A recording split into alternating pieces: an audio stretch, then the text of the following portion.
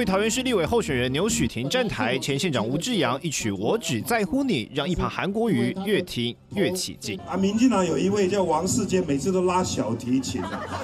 我不好意思啊，我觉得吴志阳县长这个萨克斯风啊，比那个王世坚小提琴好听太多了。王世坚躺着也中枪，但韩国瑜可没打算喊卡，瞄准对手民进党再开地图炮。看到民进党执政这种贪污腐败，这种无法无天。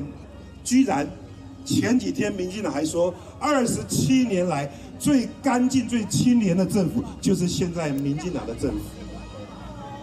我不是说怕他们晚上睡觉做噩梦啊，我都怕他变童话故事里面皮卡丘鼻子都越来越长。是皮诺丘还是皮卡丘？韩国瑜还讲脆嘎钻坡，但毕竟是来站台，韩国瑜也不忘提醒一旁牛许婷优点有多多。以前我们选举是一瓶矿泉水，一碗卤肉饭。